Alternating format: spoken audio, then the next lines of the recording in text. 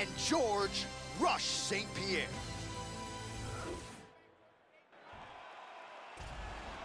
You ready to fight? Ready. All right, round one of this stand-up-only fight is underway. A friendly reminder of the rules set, not a whole lot of them, but you can't grapple or wrestle at all, and if the fight does hit the canvas, no follow-up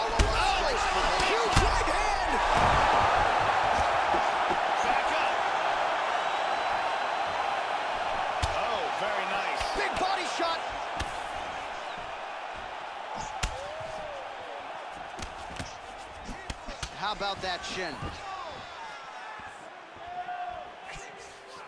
St. Pierre gets hit by that kick to the midsection, Joe. Well, he's doing a nice job keeping the guard up, but that usually means the body is wide open, and his opponent wisely saw that and landed the straight hand to the body. Let's see if he shores some things up here defensively to prevent that fate moving forward. Very good exchanges here. GSP gets caught with that punch. He's got to figure out a way to get that guard higher, Joe. Nice jab by You gotta be careful when you throw the same technique over and over and over again. And there's a nice left hook to the body. St. Pierre's kick is blocked. Oh, he lands another strike to the body, really starting to connect on a lot of shots to the midsection, and these will take their toll as this fight goes into the latter rounds. Well, he's got a strong jab. Missed with it there, though, Joe.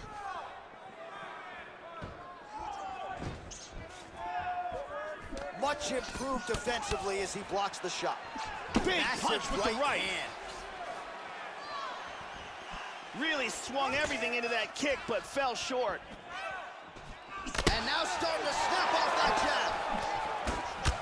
St. Pierre's lower jaw now, Joe, starting to show some signs of swelling. Nice body shot.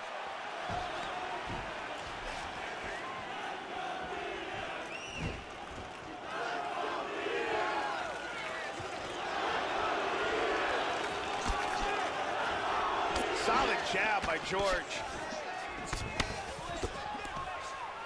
Diaz's hook shot there looked pretty good, but blocked by the defense. Oh, he lands another strike to the body. He just continues to punish his opponent's midsection here in this round. Brutal leg kick from St. Pierre. He got tagged there. Big hook to the head. Well, he continues to find his timing here. Series of strikes, they all land. Oh, he brought that offense, Joe. He's keeping his head protected here. Excellent blocking. Oh, man, defensively leaving a lot to be desired there. He moved right into that hook. His head was wide open and there for the taking. Let's see if he can make some adjustments here moving forward.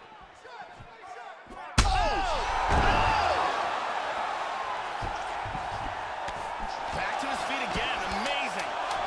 Big body shot. body. Wow. Oh, big left. Round two is next. Well, certainly looking at a 10-8 after that round, maybe even a 10-7 courtesy of the multiple knockdowns. Massive round there from Diaz. Total domination, and his opponent should be credited for getting through that round at all. He took some brutal shots. Here we see a devastating punch that results in a knockdown. You ready to fight? Ready. All right, let's get to round two. Starting off this round, you've got to think that the barrage that he endured in that last round is still affecting him. He's going to want to start this round off and move and avoid taking any damage. Oh, continuing to work the body to great effect. St. Pierre gets caught with that punch. Nice. He's hurt. Big shot to the Oh. liver. He is stunned.